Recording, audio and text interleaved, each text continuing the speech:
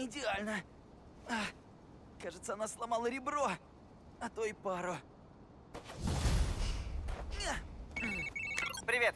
Как прошло с Финой? Не очень. Ты еще у меня? Не, я сейчас дома.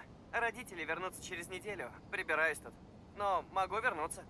Да нет, порядок. Я тебе перезвоню. Теперь что? Эй, дядя Аарон. Мне нужен... нужен совет. Насчет чего же? Насчет всего. Ты не занят? Немного, но могу прерваться. Скоро перезвоню. А, спасибо. Давай, до связи. Понятия не имею, где искать Пину или ну форм. Наверное, надо подождать, пока дядя Аарон освободится.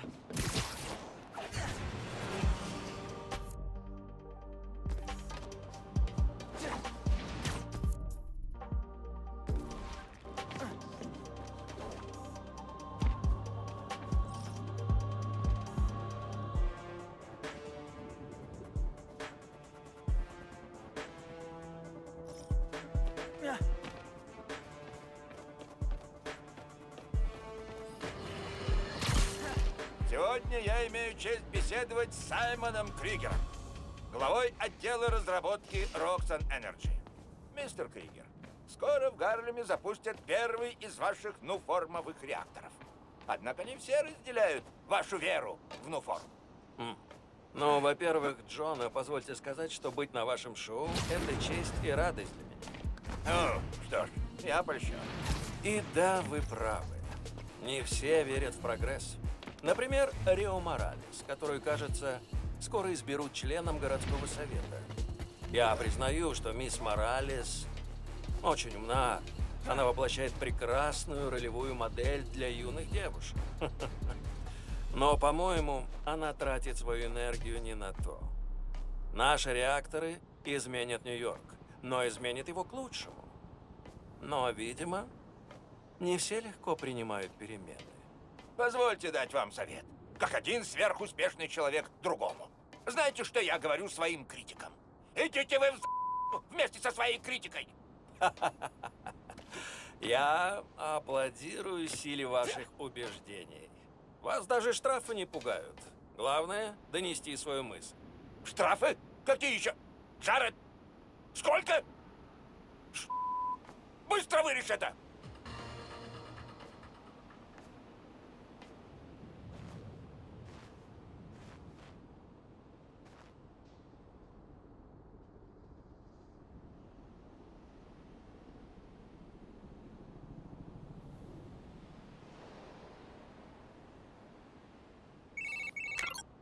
Привет.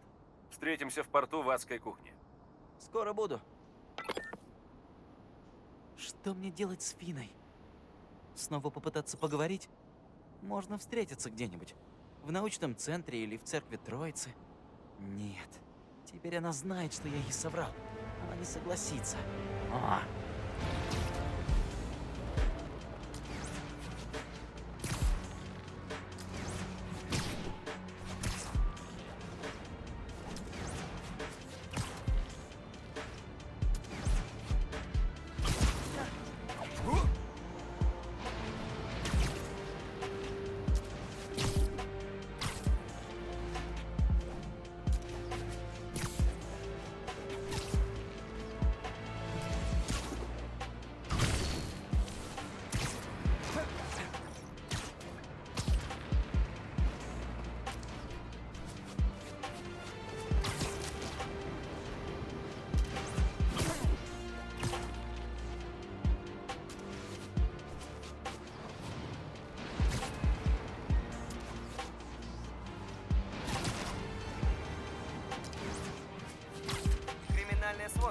Похоже, неподалеку от тебя торгуют оружием.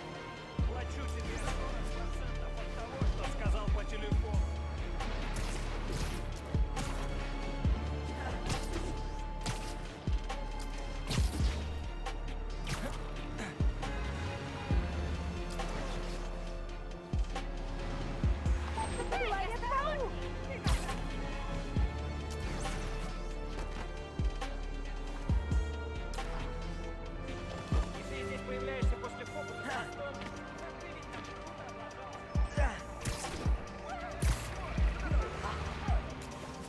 Спрятали капсулу в одной из этих труб, но не помню в какой.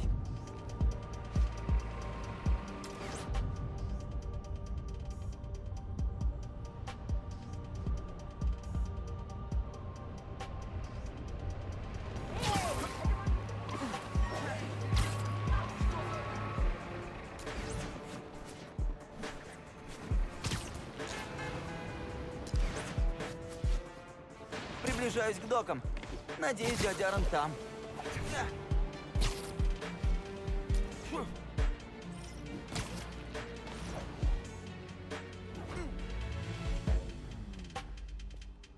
Я тебе перезвоню.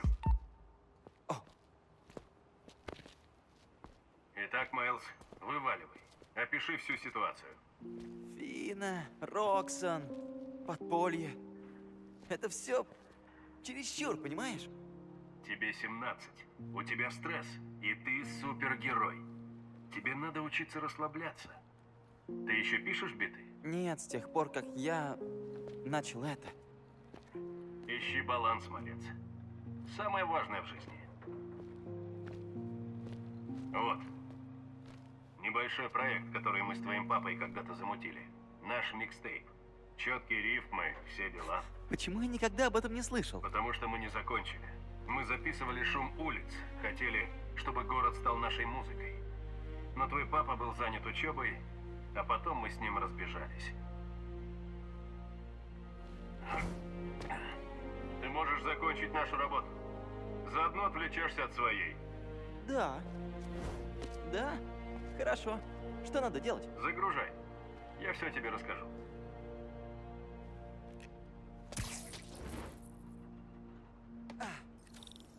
Мои голограммы направят тебя. Просканируй источник. Голограммы? Крадешь мои приемы? Так, не думай про Фину. Сосредоточься на звуках, очисти голову. Просканируй голограммы. Они разблокируют файлы на моей флешке. Это поможет тебе понять, какой нужен звук. Попробуй еще чуть ближе.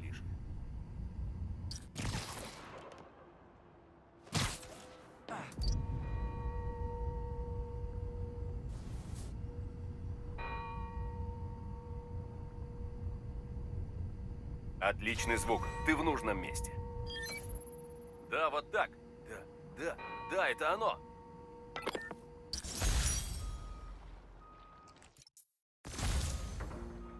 Остальные звуки, которые тебе нужны, ждут в городе. Я оставил несколько сообщений, чтобы ты мог прочувствовать все звуки. Шикарно. Не сейчас. Привет! Нашел что дельное? Да, необычная динамика. Видишь? Старая школа не подводит. А еще мне правда надо было проветрить голову. Теперь я знаю, что делать с Финой. Я встречусь с ней и попытаюсь ее отговорить. Лично? А где? Завтра ночью. У церкви Троицы. А почему спрашиваешь? Потому что у тебя на спине мишень размером с Джерси. Не нужно меня защищать. Иногда нужно.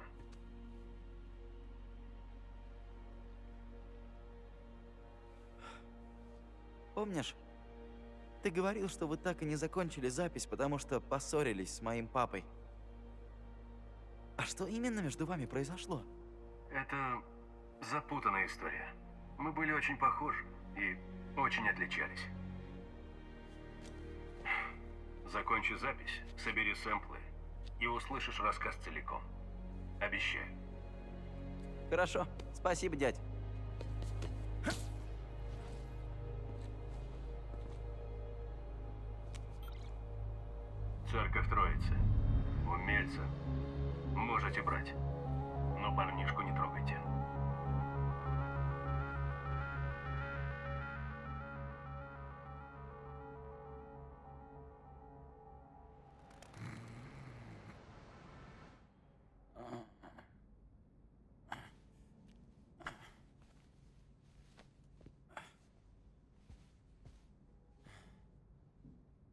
Как же хорошо.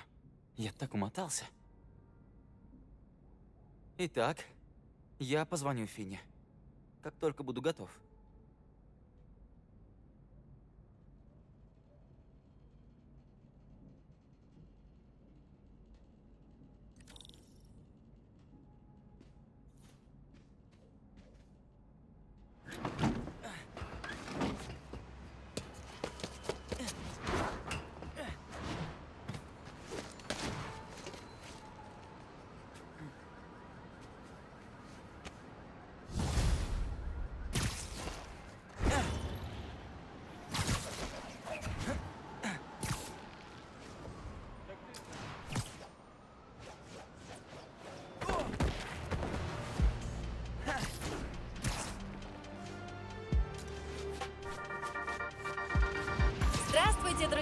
Сегодня в нашем Доникасте дебаты с... И это ваша подводка?